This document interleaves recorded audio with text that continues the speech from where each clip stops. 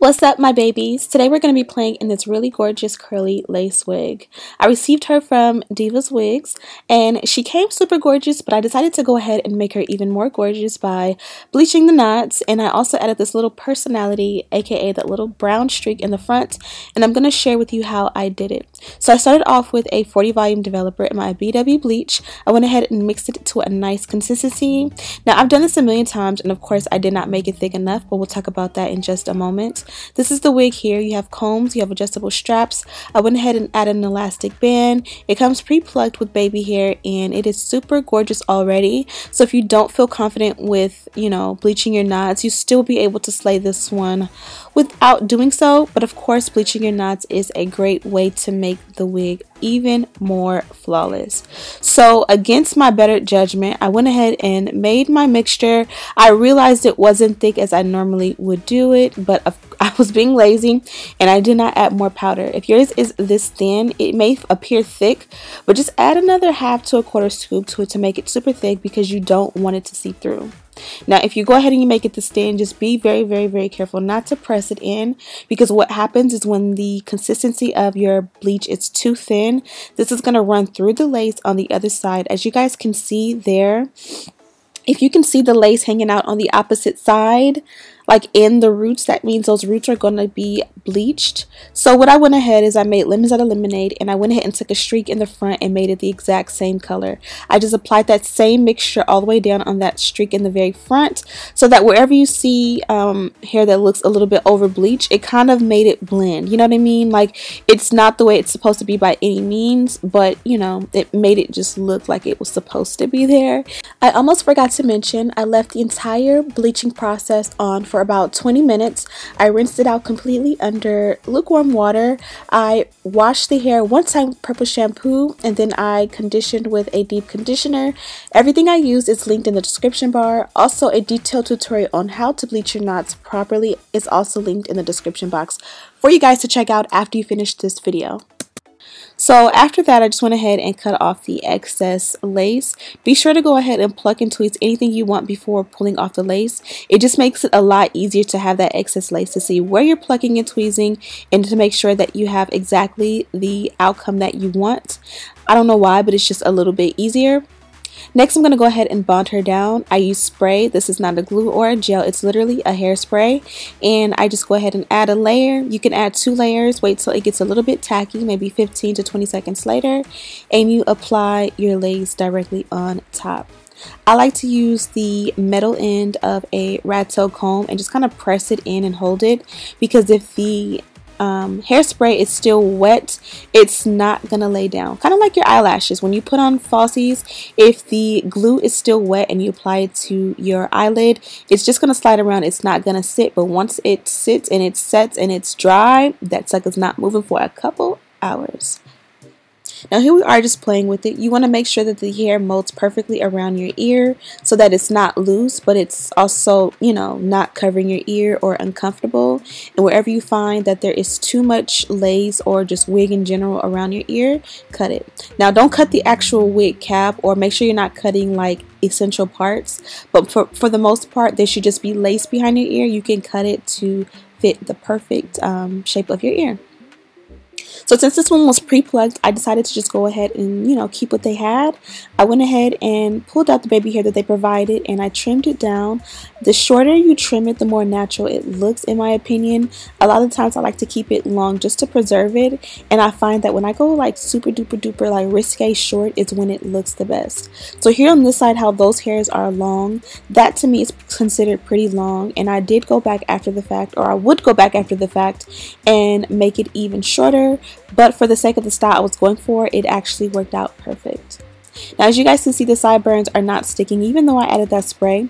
Everything but the sideburns is sticking at this moment and that's just because my side my sideburns never stick with just spray especially if I have hair there. I've been through this a million times with you guys but I'll continue to say um, you have to either shave your eyebrows or eyebrows. Please don't shave your eyebrows. You have to shave your sideburns if you want this Got2b Glued to work for your sideburns. Otherwise, I would use something stronger like Ghost Bond or Bold Hold. Maybe this week I'll show you exactly how I do it in real time. I do a combination of the freeze spray around my hairline and then for my sideburns, I use the Ghost Bond and it doesn't rip them out. It doesn't damage them at all the way I do it and you know, I'm actually able to still take it off often. And in the front, I'm just going to do a little bit. I don't want it too thick around the center. I think when you have a lot of hair or a lot of sideburns around the sides, to balance it out, do it a little less in the front center and it looks really good. Like to me, that looks really, really, really, really, really, really good. And I did not leave the bleach on too long just because I knew it ran through. So you will see some knots somewhere. I kind of semi-bleached the knots. That way it kind of made it look a lot better in the front. But if you part through, it definitely is not completely bleached. The cool thing is that this one was only about... Um, three inches of parting space, I want to say. It was less parting than you would normally get, especially on the sides, as you can see there. So if you really parted through there, you would see that that part needs to be redone. But because I wasn't really showing off the parting too much, um, I was able to add powder and just get through it. And it looked amazing. I more so wanted the hairline to be um, bleached because that was the part of the wig that I was showing off the most. Now, if you're going to do a top knot or a high bun, please be sure to part around to make sure that there's a lace covering all of those tracks. I used a little bit of foam motion, foam motion, foam lotion, um, and just a brush to kind of slick the hair up top. But you guys can see um, the ponytail kind of sits a little bit far forward because there wasn't a lot of parting space to kind of pull it back or to you know part out more hair. So um, it looks really cute. Make sure that it's your hair is not lifting in the front. And this is what it looks like in a bun. Really cute but I think I decided to just go with it down I almost forgot to mention for styling, I did not add any product. I did deep condition the wig in the sink with my silicone mix, so it really did not need any product. I just went ahead and wet it down a little bit before I started, and by the time I got to this point, it had dried, and I really liked the texture it had. Okay, so I put it into a pony, but I just wasn't feeling it. It's a nice full wig. I guess it feels more full because it's short, but it's 150 but it's 150% density. It feels like 180 or 200 and I think it's just because the curls are so full and vibrant. With there not being a whole lot of party space, I kind of felt like um, I wasn't living my best life. I felt like I wasn't living my best life with this little streak I did. Now the streak was impromptu. I kind of wanted to do something different and have a little bit of fun. And so I decided, let me just streak it. I've been obsessed with color. You guys know I've been obsessed with color super heavy lately so that was kind of just one of my ways to put in my signature brown that I've been loving like this last month or two. Again, it's 150% density. They did give me a little cue card so I know what's going on and they did note that it's up to seven working days for 150 percent density. So i did go the petite cap which fits super snug and perfect. The hairline as you guys seen was super pre-plucked and i absolutely loved it. I didn't pluck or tweeze anything. You can go in like sideways with the tweezers and just kind of like tweeze space tweeze space tweeze space and go all around like I've taught you guys to kind of break that up so it's not so boxy and that will help it look even more flawless. But if you don't this still looks amazing in my opinion um, and then yeah like I said before it's a natural black color and everything was good with this one. I didn't have any complaints. I do like that they give you a brush with your purchase and it does have their logo on it. You guys have seen me work with this company a million times and so you guys know I have like a collection of these brushes.